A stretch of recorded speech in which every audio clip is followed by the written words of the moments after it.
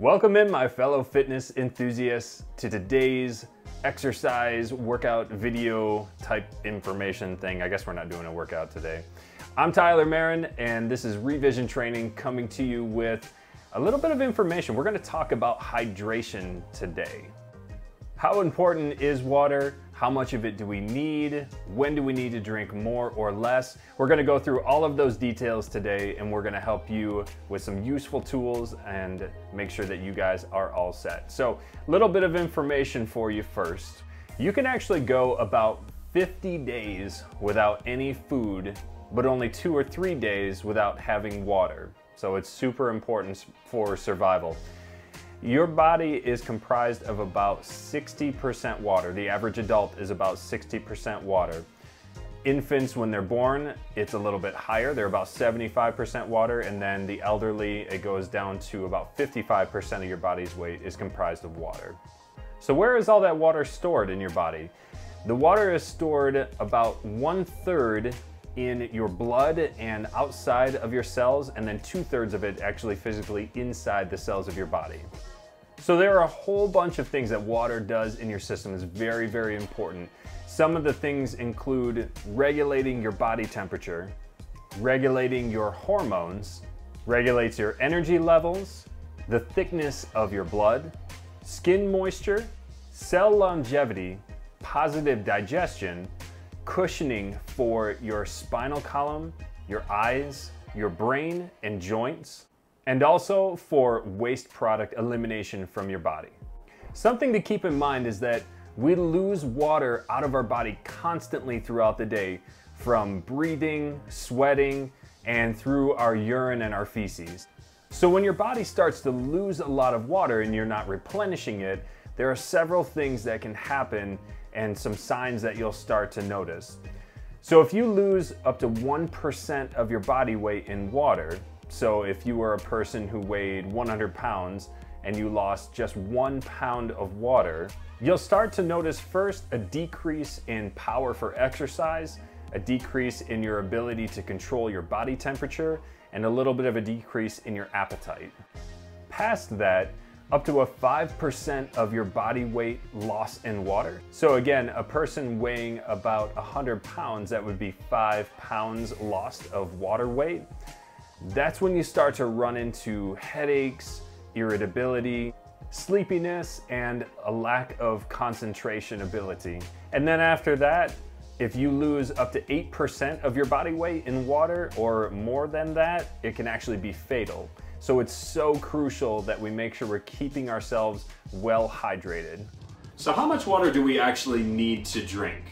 Well, the recommendations can vary quite a bit, anywhere from as low as 64 fluid ounces a day, all the way up to 128 fluid ounces a day. And for those of you who measure more in gallons and liters, that is anywhere from about two liters a day all the way up to 3.7 liters a day, or somewhere around a half a gallon up to a full gallon of water. So it can really vary quite a bit depending on a few factors. Some of those factors will include age, gender, height, weight, activity level, and temperature and climate. So about 20% of your water intake actually typically comes from the food that you eat, the rest just from the liquids that you're gonna drink. A few other factors that might determine an increase or decrease in your water intake are gonna be if you are sick, with a fever, vomiting, or diarrhea. This will typically increase the amount of water that your body is gonna demand. Or if you are pregnant or breastfeeding, that will also increase the demand of water that your body has. So what are some of the signs that show you that you are actually dehydrated? Well, the first one is kind of obvious. It's being thirsty. Having a dry, sticky mouth is your first indication that you are dehydrated and you need to put some water in your body. Some other uh, signs that you're a little bit dehydrated. Muscle cramps, headaches, dry skin, tiredness, and loss of concentration can all be symptoms of being a little bit on the dehydrated side, or a lot in some cases. So now let's talk a little bit about some of the common questions that we have when it comes to drinking water. One of the primary ones that I get is, can I drink too much water? The simple answer is not typically. If you are a healthy adult without any kidney disease or other underlying medical issues, it's really challenging to drink too much water in a day. If you are a person though who has some type of underlying disease or you're a long distance athlete running in something like a marathon where there is a lot of sweating and a long duration of heat exposure, then you can be at risk for a condition called hyponatremia where the salt content in your blood is too low in comparison to the amount of water in your system. So this can be really dangerous. Again, it's pretty rare. If you are somebody who is exercising um, for more than an hour vigorously, then typically you wanna make sure you get a uh, electrolyte drink in your system. This will help prevent any type of risk of hyponatremia. So another common question is, what temperature water should we drink? Should it be warm or cold? So some studies and cultures indicate that drinking cold water can actually be a little detrimental to your health. It can actually shrink your stomach size, challenging your digestive system, which there's not a lot of studies that actually demonstrate that, but one of the things that has been found is that cold water will actually thicken the mucus that lines your digestive tract. And so if you are already uh, ill, if you have a cold or a runny nose, then you probably don't want to drink cold water because it can thicken your mucus and make it more challenging to breathe and clear your sinuses and things like that. So warm water, broth, those are the times that you definitely want to have those. After that, a lot of the studies show that there's not a major difference between drinking cold and warm water. Whichever you're going to be able to get more of in your system is typically going to be the best. There's also a, a, question that's asked a lot as if I drink cold water, will that help me lose weight faster? Well, if you drink cold water, your body has to increase the temperature of that water when it gets into your stomach so that it can be absorbed and it actually burns calories to increase the temperature of that water. But the energy that it takes to increase the temperature of the water is typically very, very little. So it's not gonna uh, impact your overall weight loss goals. So here's another common question. How do I measure how much water I'm actually taking in? Well, there's a lot of different ways that you can do this. One of the easiest that I find is to actually have a water bottle around with you and know how many ounces it is so that you can consume a certain number of, of times of that water bottle and that way you know how many um, fluid ounces of water you're taking in. So sometimes I get asked, well, I don't know how many fluid ounces my water bottle is, so how do I figure that out? That's a really good question and I'm gonna show you an easy, easy trick to make that happen, which is actually kind of cool because I have this water bottle here um, and I got this as a gift for Christmas. I actually don't even know how many fluid ounces it is, so I'm about to find out with you guys. So what I'm gonna do is I'm gonna take my water bottle, I'm gonna fill it up with water. I have a one cup uh, measuring cup here. So one cup of like a physical measuring cup is actually gonna be eight fluid ounces exactly. So if I take my water bottle and uh, I fill it with water, and now what I'm gonna do is just dump out this water into the cup and count how many I get. And that'll determine how many ounces of water I have. So we're going one,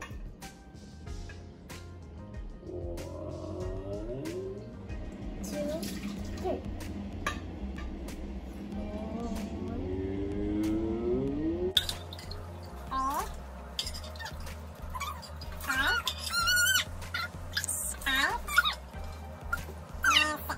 So I ended up with uh, six cups. So six times eight, which is 48 fluid ounces that this water bottle will hold. So general recommendation, uh, if I need to get about 100 fluid ounces in a day, just for an example, then I would need to drink about two and a half of these water bottles to make sure that I'm getting enough fluid ounces in my system. So also when we talk about how much water you're drinking, uh, this is not necessarily a question I get all the time, but it is something that I want to bring to your attention. when you're in a weight loss goal, your water weight can fluctuate quite a bit. So a lot of times when people start off on a fitness program and their goal is to lose weight and they start exercising right away, they start eating better, they end up losing a lot of weight very, very quickly because their body is gonna shed excess water to start with.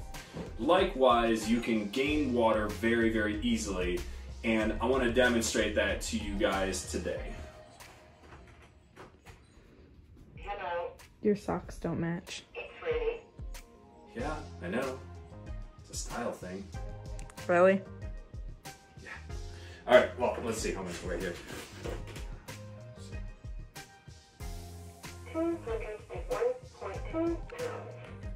It's pretty heavy. Less judge, more film. Okay, so I'm gonna get a lot of water in my system. I'm gonna show you how much weight you can actually gain just by drinking extra water. Uh, by the way, useful item to have around the house. This is a, a Berkey water filter, just kind of sits on our counter and uh, you can filter water through the top of it. It takes out um, all excess junk out of your water, uh, even has some fluoride filters in it. So I would strongly, strongly recommend that uh, you get something like this. If you're planning on drinking a lot of water and you don't want to spend a lot of money on bottled water, this is definitely a good investment. Mm. All right, cool. So I'm really excited. I've been working out hard. Have I lost more weight?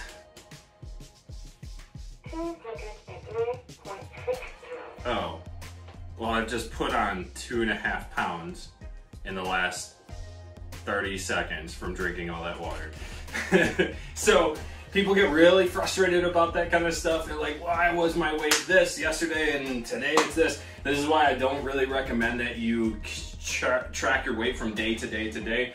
Um, typically, you want to weigh yourself about once a week. You can weigh yourself every day, but don't get frustrated when it jumps up and down just a little bit because how much water you drink and um, if you're female, depending on which part of your cycle you're in, um, so many factors that can determine how much water is in your system, thus how much you're going to weigh. So another common question that I hear a lot is, should I be drinking water during a meal? And most studies show that there's no negative effect on your digestion when you're drinking water during or after a meal. In fact, it can be beneficial for you, helping break down your food and soften your stool for digestion. Next, is drinking water good for losing weight? As you just saw, if I'm trying to lose weight and I'm drinking a lot of water, won't that make me weigh more? Well, the answer is yes, it will make you weigh more, but it's not going to add body fat. And that's what we're trying to do when we're on a weight loss goal is decrease body fat. So drinking water is gonna help flush toxins out of your system. It's gonna help improve your exercise performance. So in the end, even though drinking a lot of water can add weight to you physically, it will decrease the amount of body fat that you have on you, so thus helps your goals. Typically, when you first start an exercise program, like I mentioned, you're gonna lose a lot of water weight very quickly. But something that you'll notice is that your clothes won't fit any differently. You might lose six to seven pounds, but you're not gonna see a big change in how your clothes fit. But after a longer duration of doing your program, that's when you're gonna start to notice your clothes fitting differently on you. That's when you're actually losing um, body fat weight as opposed to just that water weight. So just a quick tip for you to be able to notice those changes. And finally, one last question that I typically get is when is it not good to drink that much water? There are a few situations where not drinking a lot of water can be indicated. If you have kidney disease or some other type of underlying medical condition, there might be times when drinking a lot of water is not going to be good for you.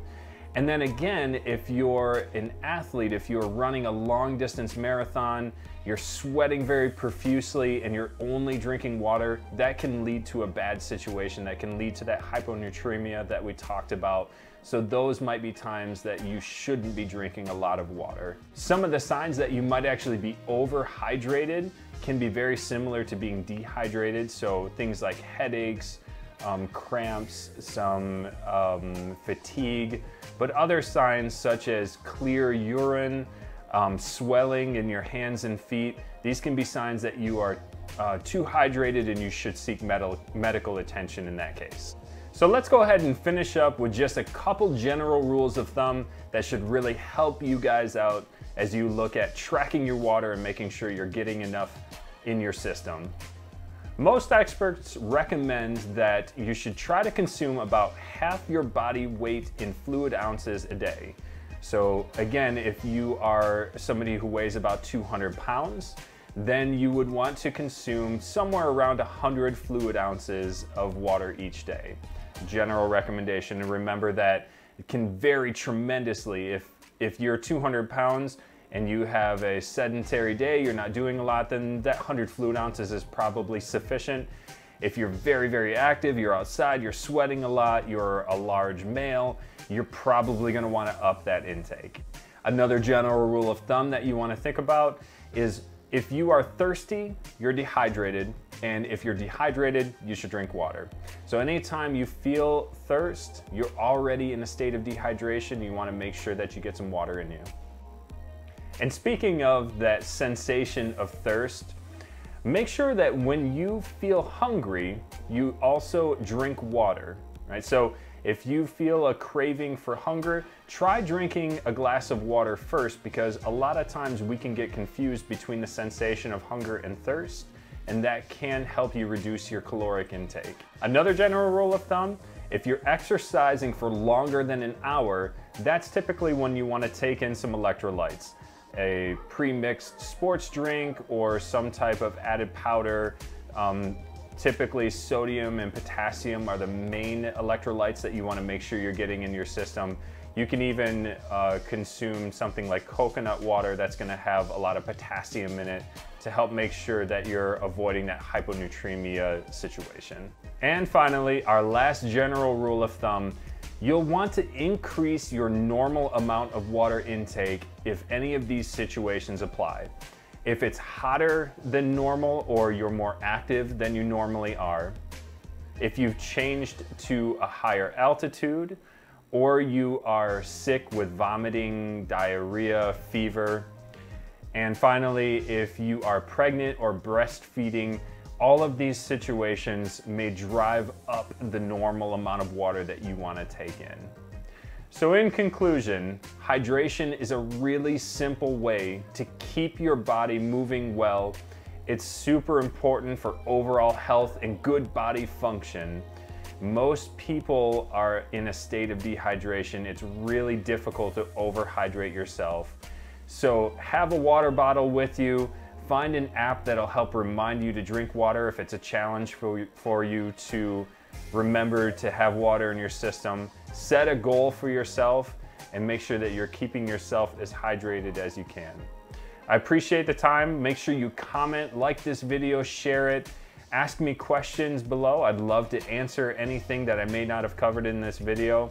And as we say from Revision Training, let's change the way we look at it. You guys make it a strong day.